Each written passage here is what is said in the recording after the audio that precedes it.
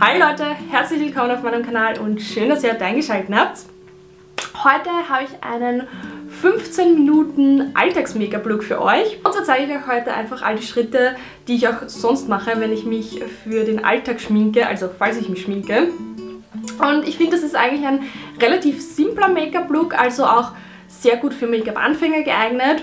Und das Beste ist, ich verwende nur Drogerieprodukte. Das heißt, es wird auch schlussendlich ein sehr, sehr günstiger Make-up-Look werden.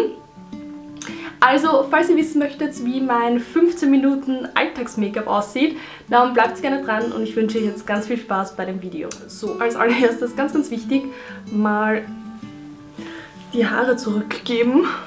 Sonst landet wirklich so viel Make-up in meinen Haaren. Okay, ich habe das jetzt so verkehrt auf, aber egal. Und ich beginne jetzt mal beim Primer.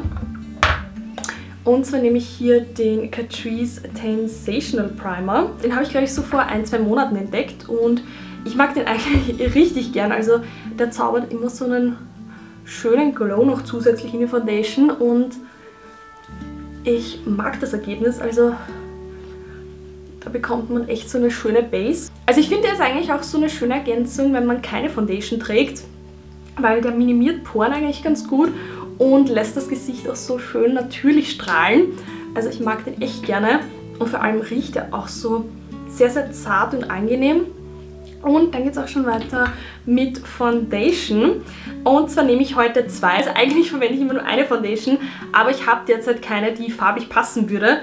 Deswegen mische ich die zwei hier. Und zwar habe ich hier die Fit Me Foundation und die True Skin Foundation. Die Fit Me Foundation ist in der Farbe 125 und die True Skin Foundation in der Farbe 010. Also die Farbe ist definitiv viel zu hell, die ist wieder viel zu dunkel. Aber ich finde so in Kombination ergänzen sich die sowohl farblich als auch ja, ergebnistechnisch eigentlich, weil die ist leider ein bisschen zu trocken, also zu matt eigentlich äh, momentan, weil mein Gesicht extrem trocken ist. Und die Maybelline Foundation ist dann doch ein bisschen, ja, was heißt ein bisschen, eigentlich sehr glowy und dewy. Und also so ein bisschen davon lässt auch die andere Foundation sehr, sehr gut erscheinen, selbst wenn ich extrem trockene Haut habe. Und ich verblende das Ganze jetzt einfach mit meinem heißgeliebten Beauty-Schwämmchen. Das ist von Real Techniques und ich habe das so lange nicht gemocht, ähm, bis ich dann endlich herausgefunden habe, dass das eigentlich nicht an der Foundation, also nicht an der, dass das nicht am Schwämmchen liegt, sondern eigentlich eine Foundation, die ich immer in Kombination damit verwendet habe. Und seither ist das wirklich so circa das einzige Schwämmchen, das ich eigentlich verwende, um meine Foundation zu verblenden. Vor allem das geht richtig schnell und das Ergebnis sieht sehr, sehr natürlich aus und äh, streifenfrei und ich mag das. Ja, so farbtechnisch glaube ich passt diese Kombination jetzt eigentlich ganz gut. Und natürlich brauche ich jetzt etwas, um meine Augenschatten abzudecken. Und da nehme ich meinen neu entdeckten alten Concealer. Und zwar ist das der Infallible Concealer von L'Oreal. Ähm, der ist in der Farbe 327. Den habe ich jetzt schon etwas länger, aber ich habe den sehr, sehr selten verwendet, also überhaupt letztes Jahr. Und dieses Jahr habe ich den mal wieder gefunden. Ich muss sagen, der Concealer ist richtig gut, also sehr schön deckend vor allem der eignet sich auch eigentlich wie die meisten Concealer sehr gut als Lidschattenprimer. Ähm, keine Angst, ich werde heute keine Lidschatten verwenden. Also ich finde, Lidschatten und Alltags-Make-up-Look passt bei mir irgendwie nicht so, so zusammen. Also ich brauche jetzt nicht sehr lange, um Lidschatten aufzutragen und zu verblenden.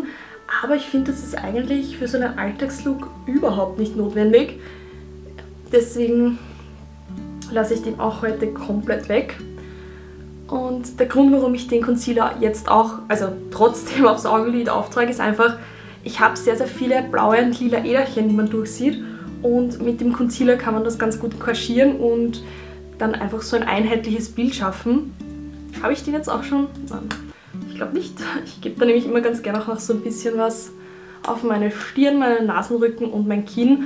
Also einfach um das Gesicht so ein bisschen einheitlicher zu highlighten. Also damit nicht nur hier unter den Augen ähm, so ein bisschen hellere Stellen sind, sondern auch noch im restlichen Gesicht. Und damit der Concealer auch wirklich gut hält, verwende ich dieses Nude Illusion Powder von Catrice. Da ist, leider, da ist leider nur mehr sehr, sehr wenig drinnen. Ich muss das da echt so ein bisschen mit Gewalt rausbringen. Äh, das Problem ist, ich habe zwar noch ein paar andere lose Puder, also zwei um genau zu sein, nur das Problem ist, die funktionieren für mich leider überhaupt nicht. Das eine ist ja, so ein bisschen zu trocken, überhaupt jetzt für die Winterzeit. Das andere trocknet zwar meine Haut nicht aus, nur kriecht das irgendwie so in meine Fältchen, beziehungsweise hebt die Fältchen so extrem hervor.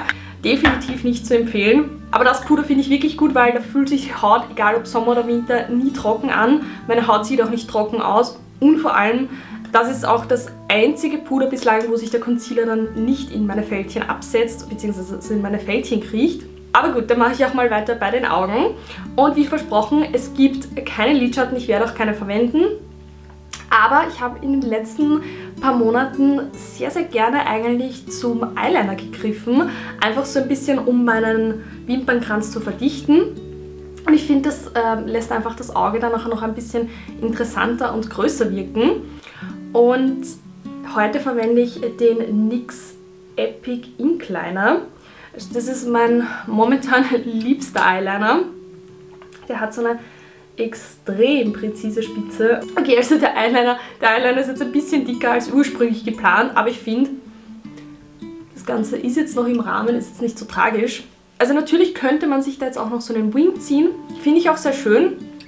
Nur ich finde, es ist nicht unbedingt notwendig und meistens kostet das dann auch noch sehr viel Zeit, vor allem wenn man da noch nicht so geübt darin ist. Ich finde das Ganze auch so sehr schön, vor allem wenn man dann noch zusätzlich Mascara aufträgt. Das ist immer ein großes, großes Must-Have. Also wenn ich sonst nichts auftrage, dann Mascara. Und derzeit verwende ich sehr gern die Air Volume Mascara. Es tut mir leid, ich sehe, das ist da vorne immer irgendwie so dunkel, aber ich weiß irgendwie nicht warum. Ich hoffe, man kann die Produkte trotzdem gut erkennen. Und ich muss ganz ehrlich sagen, zu Beginn war ich so ein bisschen skeptisch, was die Mascara betrifft, weil ich fand, die trennt die Wimpern nicht so gut, was eigentlich auch logisch ist, weil die ist eigentlich dafür gedacht, den Wimpern Volumen zu verleihen. Aber die Skepsis war wirklich vollkommen unberechtigt, weil je öfter ich diese Mascara verwende, desto besser finde ich die. Die Wimpern sehen wirklich immer richtig gut aus, vor allem wenn ich zwei Schichten davon auftrage. Und ja, eigentlich könnte ich theoretisch auch gleich meine unteren Wimpern tuschen, weil sonst trage ich da sowieso jetzt nichts mehr auf. Heute habe ich mit einer sehr guten Freundin telefoniert, der habe ich auch diese Mascara empfohlen und sie ist ebenfalls super begeistert von der und mich freut es immer extrem, wenn Leute, denen ich Mega-Produkte empfehle, die dann auch so gut finden, weil ich mir dann denke, yay, ich, ich konnte denen helfen und sie mögen diese Produkte auch so gern wie ich. Also ja, das freut mich immer riesig. Ja, nur so ein kleiner Schwank am Rande, ähm, die kleinen Dinge des Lebens. Ähm, ja, gut, weiter geht's. Ich glaube, ich mache jetzt einfach mal bei den Augenbrauen weiter. Ähm, mittlerweile schaffe ich es dir relativ schnell zu schminken, aber ich glaube, das hat sicher so ein naja, gutes Jahr gedauert, bis ich mal da so den Dreh draußen hatte. Wobei ich muss dazu sagen, immer sehen sie auch nicht unbedingt gleich aus, beziehungsweise schön aber ich gebe mein Bestes. Ah ja, apropos, äh, ich verwende heute dafür das, wie nennt sich das, Eyebrow Stylist Set von Essence. Ähm, Finde ich sehr gut, ist auch sehr preisgünstig. Und da hat man nämlich auch so einen kleinen Pinsel drinnen, mit dem lässt sich das Produkt auch sehr gut auftragen. Und ich fülle damit wirklich nur so ein bisschen meine Augenbrauen auf, also ich mache da nicht sehr viel Spektakuläres damit. Wobei ich muss gleich sagen, also von so Instagram-Augenbrauen beziehungsweise so, so Bam, mega Augenbrauen bin ich echt weit entfernt. Ah, und für mehr habe ich auch eigentlich nicht Zeit in 15 Minuten, wenn ich ganz ehrlich bin. Ähm, so, mit dem Ergebnis bin ich ganz zufrieden. Und ich verwende dann eigentlich immer auch ganz gerne diesen Plump Set Brow Artist. Also das ist einfach so ein Augenbrauengel. Und das verwende ich entweder alleine oder in Kombination mit diesem Puder, ähm, einfach um die Härchen so ein bisschen zu fixieren. Und das spendet auch noch so ein bisschen Farbe. Sieht auch ganz alleine ohne Augenbrauenpuder eigentlich sehr schön aus. Also ich mag das Gel wirklich gerne, weil das kann man extrem leicht auftragen und die Härchen bewegen sich den ganzen Tag nicht, also die sind wirklich gut fixiert. Und das Gute ist, die Augenbrauen sehen mit dem nicht so, ich, ich weiß jetzt kein deutsches Wort dafür, so crispy aus, also so extrem verklebt und, und ausgetrocknet, sondern die sehen, finde ich, ganz natürlich aus. Ich zeige das einfach so schön in Form gekämmt. Und dann geht es auch schon weiter mit Bronzer. Und hier nehme ich den Catrice Sun Glow Bronzer, beziehungsweise ähm, das Bronzing Powder. Der ist in der Farbe 030 Medium Bronze. Also der Farbton passt derzeit eigentlich ganz gut. Ähm, das ist wirklich so ein richtig schön günstiger Bronzer, schön für den Sommer. Und der ist jetzt auch nicht so extrem übertrieben pigmentiert. Man kann ihn ganz gut auftragen. Trage den jetzt einfach mal so großzügig auf. Und dann geht es auch schon weiter mit dem Blush. Und zwar verwende ich hier die, äh, nicht Lidschatten, die Blush-Palette von Mrs. Bella. Und zwar nennt sich die Rosie. Und ich muss dazu sagen, Blush ist für mich so ein Produkt, das kann man auftragen, muss man aber nicht unbedingt, weil ich finde, man könnte das Ganze so lassen. Durch den Bronzer ist das Gesicht einfach so ein bisschen aufgewärmt, ein bisschen konturiert.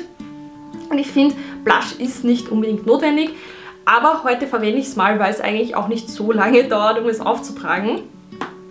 Und zwar nehme ich einfach hier diesen mittleren Ton und ich trage die wirklich in so pressenden, also pressenden, wie nennt man das? Ähm, in solchen Bewegungen einfach auf. Also ich, ich wische das dann nicht so nach oben. Ich finde, das ist, ich weiß nicht, wirkt irgendwie unnatürlicher manchmal. Und da mache ich mal weiter mit meinem Lieblingsteil beim Make-up auftragen, nämlich dem Highlighter. Und bei mir ist wirklich so das Motto manchmal weniger ist mehr.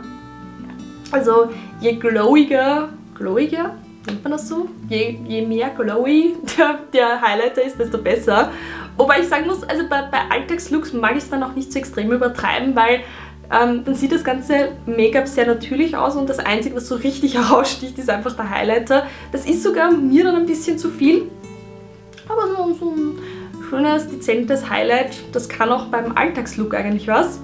Und weil ich davor erwähnt habe, dass Blush eigentlich so ja, optional eigentlich ist, Highlighter gehört auch dazu, also Highlighter braucht man nicht unbedingt in seinem Leben, meiner Meinung nach. Natürlich, genauso wie es Blush, es macht das ganze Make-up ein bisschen frischer und schöner, aber nichtsdestotrotz, ich verwende halt trotzdem ein bisschen Highlighter. Und zwar nehme ich halt diese Mrs. Bella Palette, die nennt sich Goldie. Und da nehme ich die Farbe, hm, ja, ich werde halt die nehmen, nämlich die Farbe Glow.